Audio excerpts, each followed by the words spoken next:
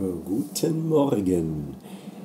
Heute habe ich, oder jetzt gerade habe ich in meinen Mailkasten geschaut und gefunden eine Nachricht von YouTube, dass mein Kanal überprüft wird und ich möchte dazu meine Gedanken mit euch teilen und weil das betrifft einige YouTube-Kanäle und auch einen kleinen Ausblick geben, was passiert und bei verschiedenen Optionen, was passiert mit mir. Also, zum einen der Kanal wird überprüft. Das ist ein Tatbestand, der andere YouTuber in Panik versetzt oder sich ungerecht behandelt fühlt.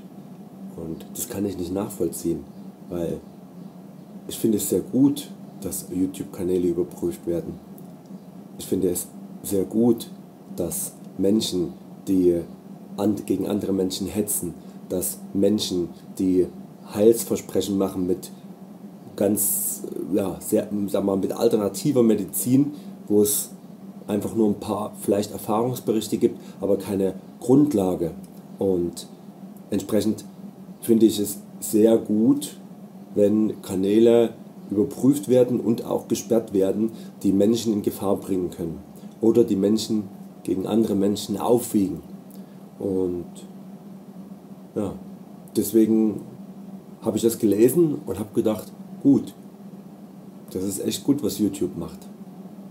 Nun kann es natürlich sein, dass ich mache zwar keine alternativen Heilsversprechen, sondern teste die Dinge, sage, wie das aus meiner Sicht wirkt. Aber bei so vielen YouTube-Kanälen kann es durchaus sein, dass ja, YouTube das, diese Überprüfung, dass sie ja, nicht ganz so ins Detail gehen und so ein bisschen den Sinn meines Kanals nicht erfassen. Das würde ich dann auch nicht verübeln. Das ist ein Unternehmen, das muss profitabel arbeiten und ähm, da fallen halt manche durchs Sieb. Das ist genauso wie in unserem Sozialsystem, das ist ein sehr, sehr gutes, aber ein paar fallen halt durchs Sieb, weil sie halt in irgendeiner Weise dann halt nicht standardisiert sind.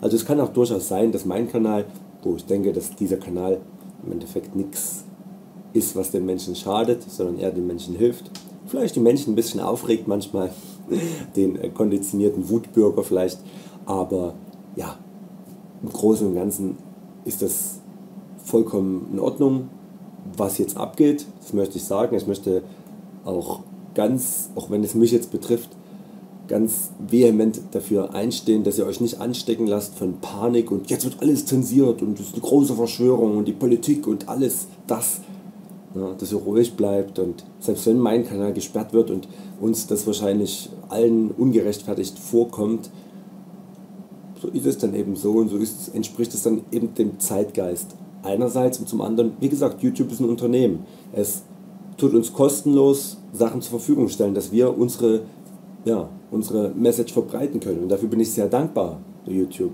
Und, ja. und dann, was passiert dann? Ne? Es kann zum einen sein, dass ich versuche dann auf einer anderen Videoplattform auszuweichen. Das kann sein.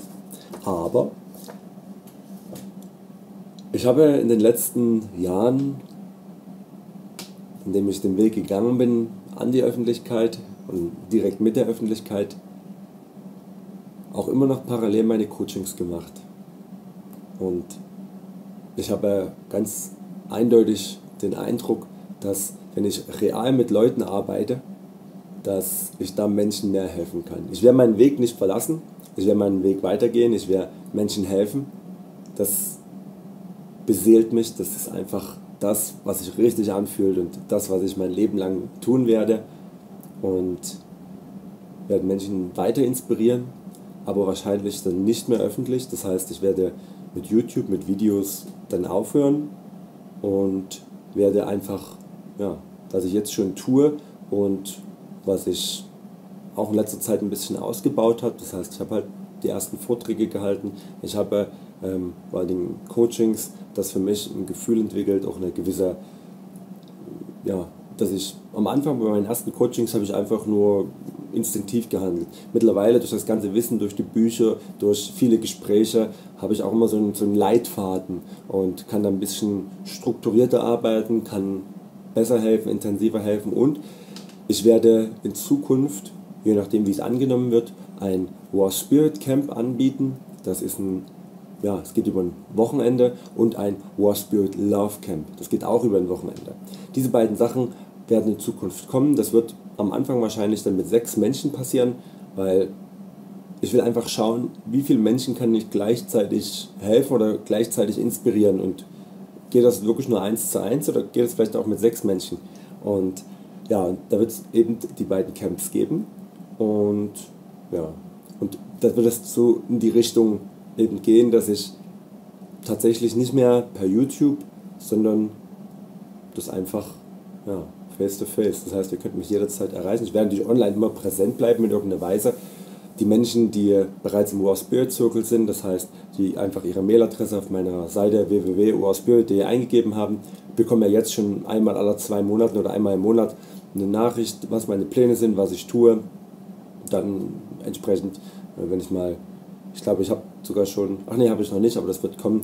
Es gibt Videos, die ich nicht öffentlich stelle, aus dem einfachen Grunde, weil ich, weil, weil, weil sie Videos sind, die sind so aus dem aus einer Unbewusstheit heraus entsprungen und sind nicht ähm, so formuliert, dass sich möglichst wenige angegriffen fühlen, sondern sie sind, das ist jetzt nichts Schlimmes, also das ist jetzt im Standard zu anderen, aber ich habe einfach so das Gefühl, ja, das, es könnte zwar Menschen helfen, ist aber vielleicht ein bisschen angreifend formuliert. Da geht es vor allem um ähm, Haustierhaltung in einem Video und ähm, ja, und das sind dann die, die ich dann im War Spirit Circle dann einfach, äh, das sind auch YouTube-Videos, die sind einfach nicht gelistet.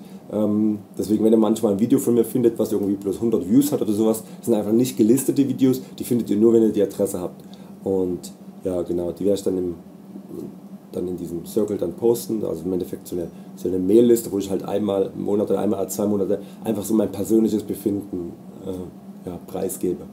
Und ja, wenn ihr weiter Kontakt halten wollt zu mir, dann tragt euch dort einfach ein. Ihr könnt euch dort jetzt auch raustragen, wenn euch das äh, nicht gefällt.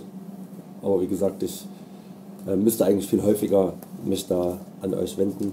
Und das ist doch nicht irgendwie Werbung oder dass ich da Produktsachen mache, sondern da geht es wirklich, ich teile einfach nur mein Gefühl. Es ist einfach nur ein Text, es sind auch keine Bilder dabei oder kein, äh, ja, so und jetzt äh, das und das. Und ja, es ist halt einfach nur meine Gedanken. Genau. Also das dazu. Das heißt, mein Weg wird auf jeden Fall weiter in die Richtung gehen und ja, wenn bei der Prüfung das rauskommt, wovon ich ausgehe, dass der YouTube-Kanal in Ordnung ist, ja, dann äh, wird es auch erstmal auf YouTube weitergehen und ja. für mich ist es nur sehr, sehr wichtig, ganz wichtig, das Hauptanliegen des Videos, dass ihr euch nicht anstecken lasst von der Panik, die derzeit grassiert YouTube-Welle wird alles gesperrt und also dass man Zensur, alles zensiert und alles was irgendwie alternativ ist und alles Dings und die Großen und die Dings, es kommt alles aus der Szene der Verschwörungstheoretiker, der Menschen, die immer alles äh, sozusagen, ja, sie sich abgrenzen wollen und alle sind böse und das. Und ähm, ich kann nicht sagen, dass das weniger gefährlich ist als Menschen, die offen ihren Hass äh, gegen andere Kulturen oder gegen anderes Geschlecht, gegen also homophobe Menschen, dass das schlechter ist. Alles, was auf Abgrenzung geht, ist schlecht. Und deswegen äh, lasst keinen Keil zwischen euch treiben und Menschen, die in der Wirtschaft arbeiten, die in der Politik arbeiten.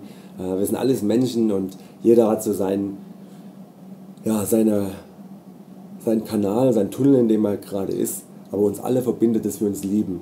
Und die Anpassungen, die jetzt passieren, die passieren eben. Und wie gesagt, manchmal empfinde ich sie vielleicht auch nicht als gerechtfertigt. Aber sie passieren und wenn sie passieren, dann passieren sie eben. Und dann muss man halt selber mit seinem Herzen halt weiter seine Message ja, von Herz zu Herz vielleicht tragen. Das kann niemand verhindern und das werde ich auch tun. Und von daher, ja,